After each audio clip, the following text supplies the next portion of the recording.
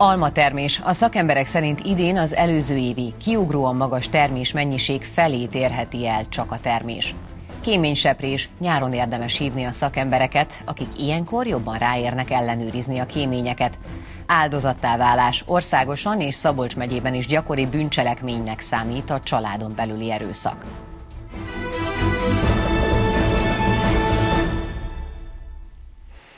A tavalyi alma termés felét érheti el az idei mennyiség az előzetes becslések alapján. Ez a Kölcsei Televízió híradója. Köszöntöm Önöket! Az elmúlt tíz évben a gyümölcs hazai termés mennyisége 600 ezer tonna körül mozgott. Volt, amikor mindössze ennek a felét érte el, a 2018-as 900 tonna pedig magasan kiugrónak számított. Az idei visszaesés főleg az időjárási viszontagságoknak köszönhető, illetve a fák előző évi termésterhelésének.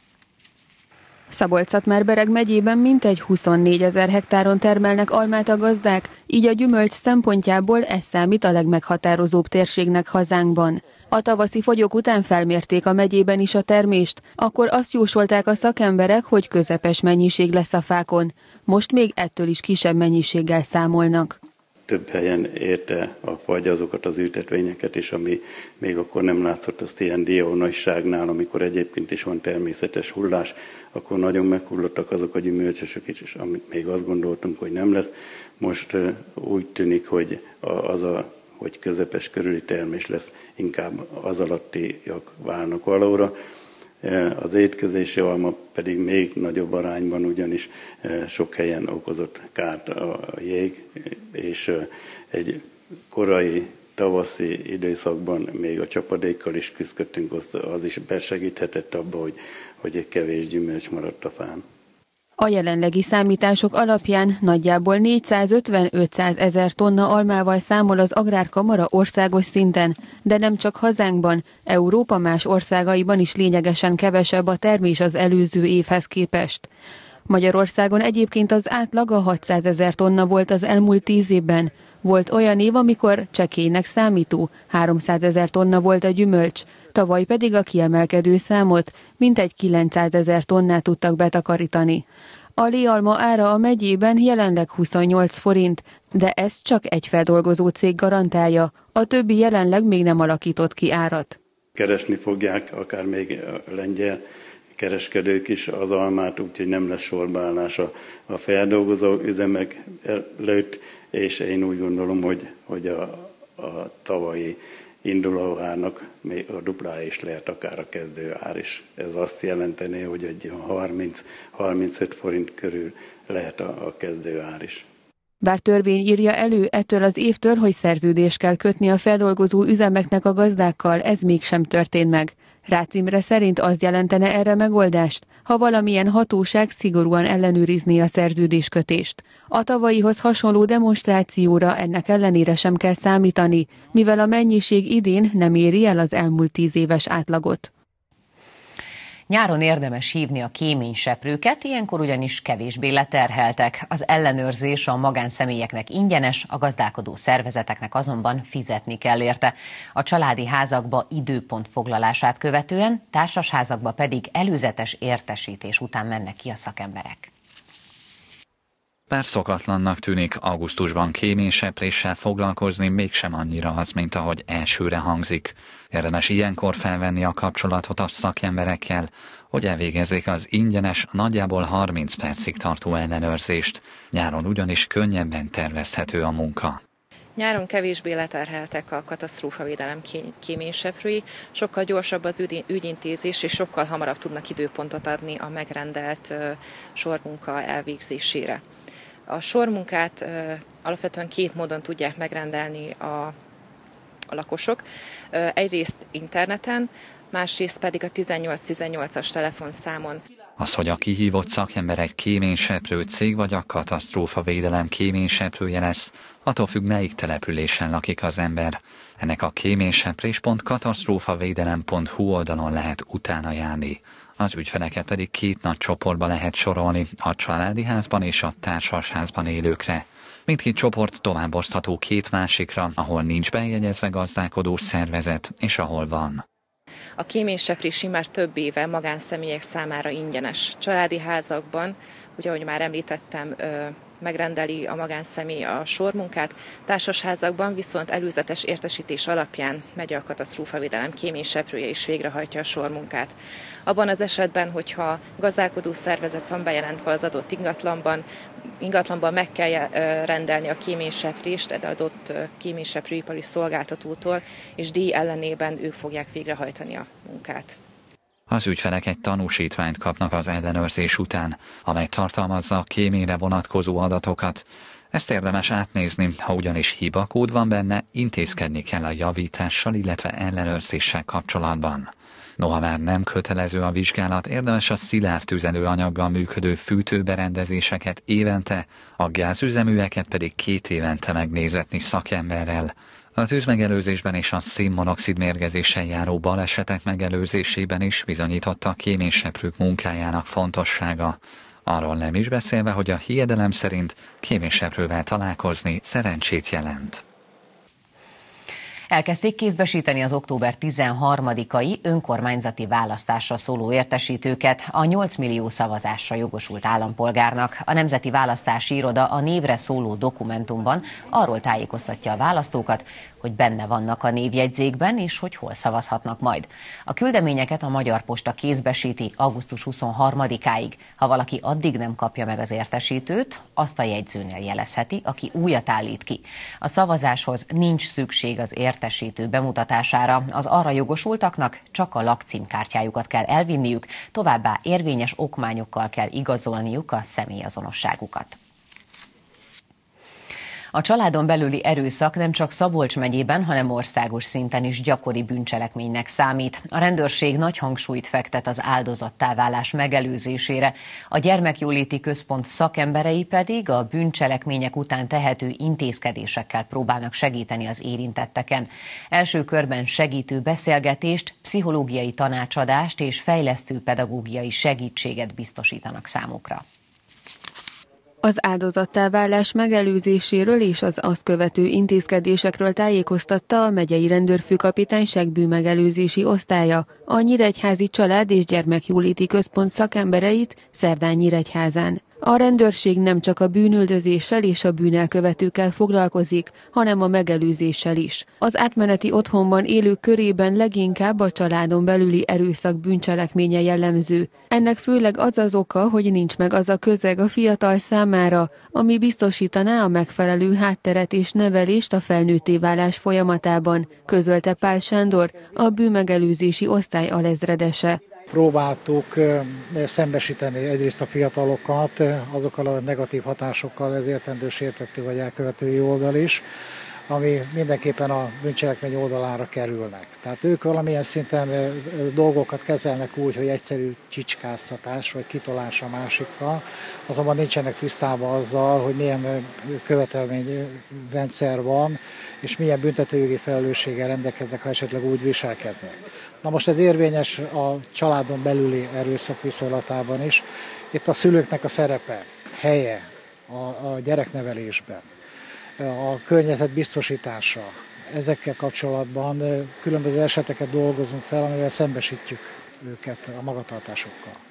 A legnagyobb probléma a számonkérés hiánya. A gyerekek nem kapják meg azt a törődést és figyelmet, amit igényelnének és amelyre szükségük lenne. Pedig ha nincs családi kontroll, akkor a viselkedése nem javul majd a gyereknek. Ennek is köszönhető, hogy akár bűncselekményeket is elkövethetnek ezek a fiatalok.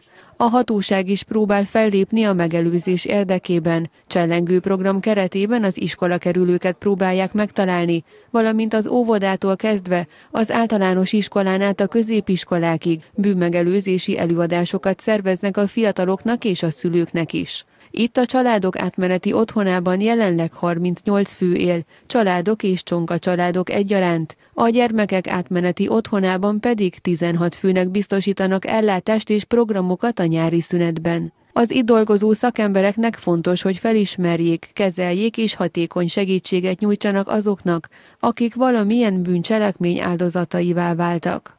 Azt szoktuk tapasztalni, hogy időre van szüksége mind a családnak, mind a gyereknek, mind a felnőttnek, és ez az idő, ez, ez akár lehet egy hónap, lehet fél év, amikor konkrétan minden teljes körűen ki tudnak bontakozni, és el tudják mondani a korábban ért sérelmeiket, problémáikat, és ezekben az esetekben ők saját maguk eldöntik, hogy kérnek el további segítséget, de ha gyermeket érinti a probléma, akkor a jelzőrendszer tagként mi megteszük a szükséges intézkedéseket. Első körben a segítő beszélgetést, a pszichológiai tanácsadást és a fejlesztő pedagógiai segítséget biztosítják az érintetteknek. A családon belüli erőszak gyakori bűncselekmény nem csak szabolcs Bereg megyében, hanem országos szinten is.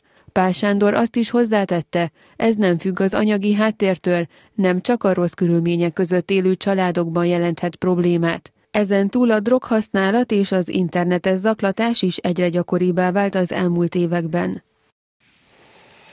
Öt független képviselő jelölt el a 2016-os választás után ismét Földi Istvánt jelöli a polgármesteri címre a Jobbik Kocsordon. A 3000 fős település az elmúlt három évben közel fél milliárd forint összértékű pályázatot nyert el. Az állami és Európai Uniós forrásokat konyha és óvoda felújításra, gyógyszer támogatásra, a szociális rendszer megújítására, az első lakáshoz jutás támogatására, valamint aszfaltozási munkálatokra fordították valamint a közösségi életünk, ami nagyon sokat fejlődött a településen, és a szociális ellátórendszer, amelynek a legfőbb alapja az, hogy a kocsori embereket szolgáljuk és támogassuk. Ennek hatására döntöttem úgy ismételtem, mint 2016-ban, hogy vállalom a polgármester jelöltséget, és kocsordot szeretném szolgálni az elkövetkezendő időszakban. Folyamatosan teltházzal működik az Állatbarát Alapítvány Csatorna utcai állatotthona. Jelenleg közel 200 kutya és 40 macska várja leendő gazdáját. A zsúfoltság tovább fokozódik, mivel az elmúlt hetekben negyed annyi kutyust fogadtak örökbe, mint korábban, ugyanis a nyári időszakra jellemző, hogy lényegesen csökken az örökbefogadási kedv. Demónát Kemecsén egy hatalmas elszakított lánccal a nyakán találták meg állatbarátok, akik nem hagyták magára, így került az állatbarát alapítvány telephelyére. Az első hetekben lánc nélkül is egy egy méter sugarú körben szaladgált a keneljében és pórázon is. Temona egy szerencsés kutyus, ő a héten utazik Németországba új gazdiához, ahol családban házi kedvencként élhet, azonban rajta kívül közel 200 kutyus még örökbefogadóját várja az alapítvány csatorna utcai telephelyén. Az otthon lakóival a szervezet honlapján is megismerkedhetnek a leendő gazdik, hiszen minden bekerült kutya és macska fényképpel, rövid leírással együtt a weboldalukon is látható. Szerencsére egyre több ember gondolja úgy, hogy elárvult állatot vesz magához, viszont a tapasztalat az, hogy a nyári időszakban lényegesen csökken az örökbefogadási kedv. Nyáron ugye az emberek többsége nyaral, mindenki ugye az iskola kezdése koncentrál már augusztusban, úgyhogy tulajdonképpen mondhatni azt, hogy szinte teljesen befagyott az örökbefogadás. Az elmúlt két hétben mindössze öt kutyát sikerült örökbeadnunk, ami egy nagyon-nagyon alacsony szám, mert ugye ez a szám általában ezért ilyen heti 10-12 szokott lenni, úgyhogy a negyedére csökkent most ez le. Ez, ez elég aggasztó egyébként, mert közben ugye azok az állatok, akik bekerülnének, az ő számuk ugye nem csökken, és ugye emiatt kialakult egy ilyen puffer gyakorlatilag, úgyhogy nem nagyon tudunk most beengedni senkit sajnos. Várjuk azt, hogy, hogy hát, ha megváltozik ez a helyzet, jön az ősz, talán egy kicsit többen kezdenek el ismét az örökbefogadásban gondolkodni. Örökbefogadás esetén a kutyák oltva, féreghajtva, csippelve kerülnek új otthonukba, a felnőtt kutyákat pedig ivartalanítják. Az Állatbarát Alapítvány munkatársai kampányaik során is az ivartalanításra és a felelősségteljes állattartásra hívják fel a lakosság figyelmét valamint hangsúlyozzák, hogy csak azok fogadjanak magukhoz állatot, akik tájékozottak a kutya vagy cica igényeiről, tulajdonságairól, szükségleteiről, és az állat élete végéig biztosítani tudják számára ezeket a feltételeket.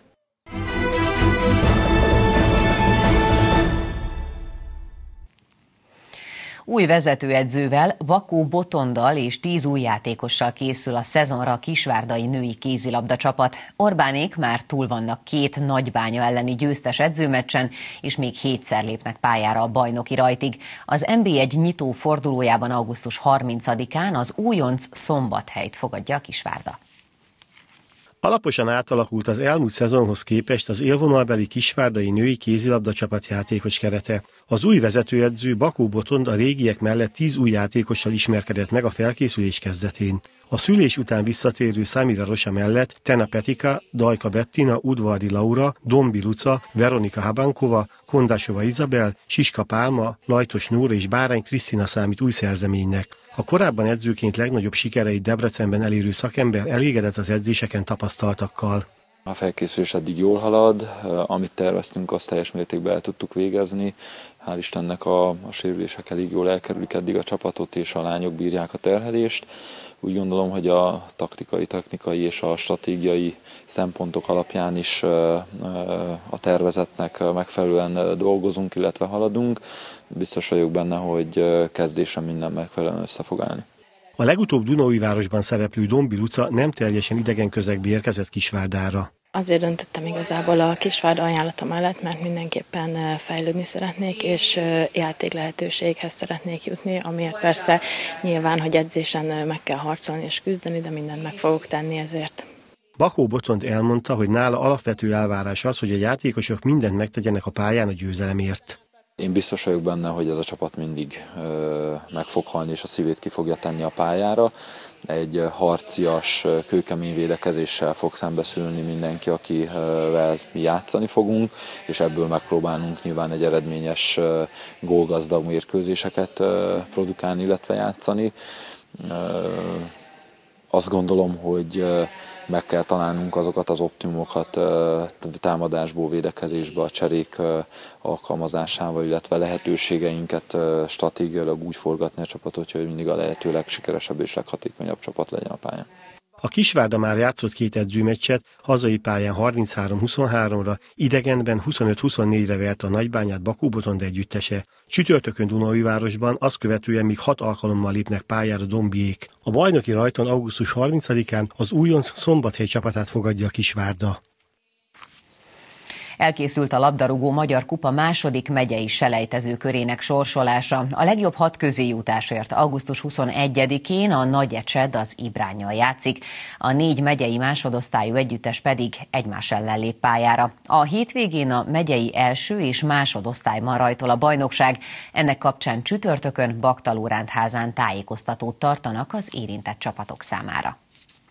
20 Szabolcs-Szatmár Bereg megyei együttes nevezett a Magyar Kupa megyei selejtezőjére, ahonnan végül három csapat jut majd fel az országos főtáblára. Az MLS megyei igazgatósága négy csapatot kiemelt, az első körből pedig nyolc gárda jutott tovább. A 12 érintett együttest nyílt sorsoláson párosították össze hétfőn az igazgatóságon.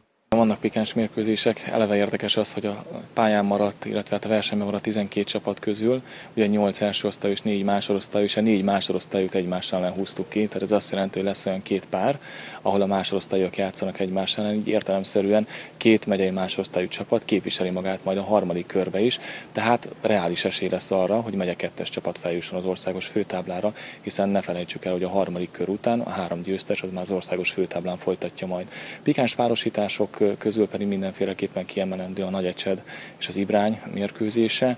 Azt hiszem, hogy ez mindenféleképpen érdemes, érdemes lesz oda majd kilátogatni. Érdekes találkozó lesz, tavalyi évben is egymás ellen is játszottak a kupába, bajnoki meccseken is igen szoros mérkőzéseket játszottak, és az is mindenféleképpen fontos megemlíteni, hogy voltak olyan bravúros eredmények az első fordulóban, hogy másodosztályú csapatok búcsúztattak első osztályú csapatot, gondolok itt a Csenger és a Gyulaháza bravúrjára. A Nagyecsed Ibrány mérkőzés mellett Nyíribdon Csenger, Újfehértó Vásárosnamény, Rakamasz Gyulaháza, Balkány Tarpa és Mándok Máté Szalka találkozókat rendeznek augusztus 21-én a hat közékerülésért. A hétvégén rajtol a bajnoki szezon is. A bajnoki rajterőt most csütörtökön délután 17 órától lesz egy nagyon fontos tájékoztató, méghozzá a labdarúgás versenyszabályzat módosításokról, hiszen azt szinte nagyon sok fórumon olvashatták a megyei futballbarátok, hogy június 1-től az IFAB rendelkezés alapján a FIFA ugye nagyon komolyan változtatta a labdarúgás játék szabályainak bizonyos megítéléseit, és ezzel kapcsolatosan egy bőórás előadást fogunk tartani, méghozzá a megyei játékvezetői bizottság megbízásából Szilágyi Norbert MB-s játékvezető fogja a remélem minél nagyobb számú csapatvezetők, vezetőedzők, csapatkapitányoknak megtartani ezt a tájékoztatót, hiszen nagyon fontos, hogy tisztában legyenek majd az együttesek, a játékosok és az edzők is azzal, hogy mik változtak a játékszabályokba, úgyhogy én mindenkit arra tudok buzítani, hogy fáradjon el csütörtökön Baktaló rendházzal és hallgassa meg ezt az előadást. Mivel a szombat munkanap három megyei első osztályú meccs kivételével vasárnap lépnek pályára a megye egyes és megye csapatok, a megyei harmadosztályban a jövő hétvégén kezdődik a bajnokság. Híradunk végén lássuk a legfontosabb híreket még egyszer néhány mondatban. A tavalyi almatermés felét érheti el az idei termés az előzetes becslések alapján. Az elmúlt tíz évben a gyümölcs hazai termés mennyisége 600 ezer tonna körül mozgott. Volt, amikor ennek mindössze felét érte el, a 2018-as 900 tonna pedig magasan kiugrónak számított. Az idei visszaesés főleg az időjárási viszontagságoknak köszönhető, illetve a fák előző évi termés terhelésének. Nyáron érdemes hívni a kéményseprőket, ilyenkor ugyanis kevésbé leterheltek. Az ellenőrzés a magánszemélyeknek ingyenes, a gazdálkodó szervezeteknek azonban fizetni kell érte. A családi házakba időpont foglalását követően, társasházakba pedig előzetes értesítés után mennek ki a szakemberek. Az ellenőrzés után az ügyfelek egy tanúsítványt kapnak, amelyet érdemes alaposan átnézni. Az áldozattá válás megelőzéséről és az azt követő intézkedésekről tájékoztatta a megyei rendőrfőkapitányság bűnmegelőzési osztálya a Nyíregyházi Család és Gyermekjóléti Központ szakembereit szerdán Nyíregyházán. A családon belüli erőszak nem csak Szabolcs megyében, hanem országos szinten is gyakori bűncselekménynek számít. A rendőrség nagy hangsúlyt fektet az áldozattá válás megelőzésére, a Gyermekjóléti Központ szakemberei pedig a bűncselekmények után tehető intézkedésekkel próbálnak segíteni az érintetteken.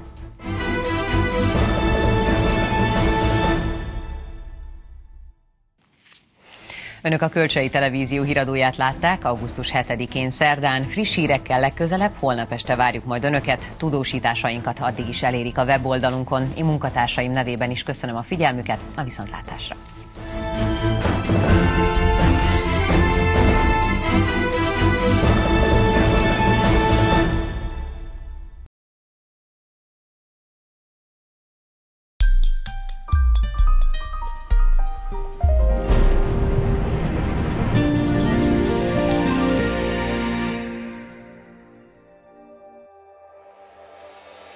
Éjszaka egy gyenge hidegfront vonul át hazánk felett, de jelentős hőmérséklet csökkenésre nem kell számítani, fejfájás, szédülés ugyanakkor előfordulhat. Csütörtök reggelig többször megnövekszik a felhőzet, elszórtan előfordulhat zápor, zivatar is. A déli szél időnként megélénkül, de zivatarok környezetében átmenetileg erős, viharos széllökések is lehetnek. A legalacsonyabb éjszakai hőmérséklet 19 fok körül alakul. Napközben változóan felhős idő várható több-kevesebb napsütéssel, majd délutántól megnövekszik a felhőzet. Helyenként eshet, a szél pedig többfelé feltámadhat. A legmelegebb órákban 30 fok körüli értékeket mérhetünk. A hét utolsó napjaiban, illetve a jövő hét elején nagy részt derült vagy gyengén felhős időre van kilátás, sok napsütéssel és csupán elvétve fordulhat elő zápor, zivatar. Szombattól az ország legnagyobb részén hőség, kánikula várható.